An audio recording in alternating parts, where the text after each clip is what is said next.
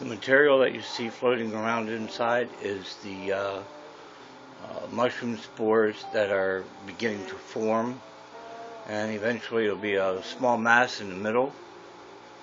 This is called a liquid culture. Alright, I'll be able to fill uh, 10 cc syringes.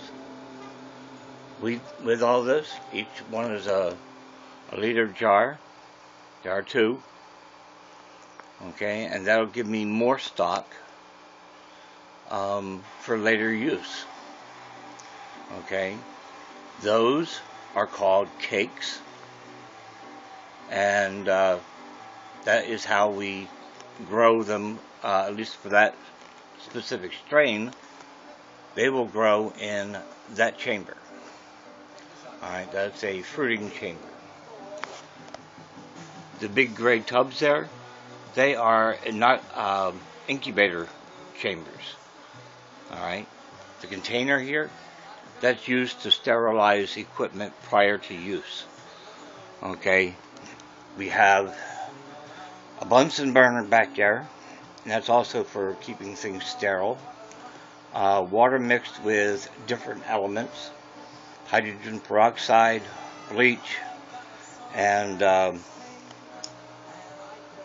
uh, uh, isopropyl alcohol. Couldn't think for a minute there, sorry. Uh, it's used for different things. One for spraying down the, the mushrooms uh, while they're growing, keep them moist. Also for cleaning and keeping things from uh, going bad, like uh, the water that's in the uh, not in the incubator chamber. It helps to keep it from going stagnant. That is an air filter, okay, and it hooks up to the fruiting chamber, and that is where it get it gets its moisture to keep it nice and even. Um, that chamber will also be used for uh, drying mushrooms.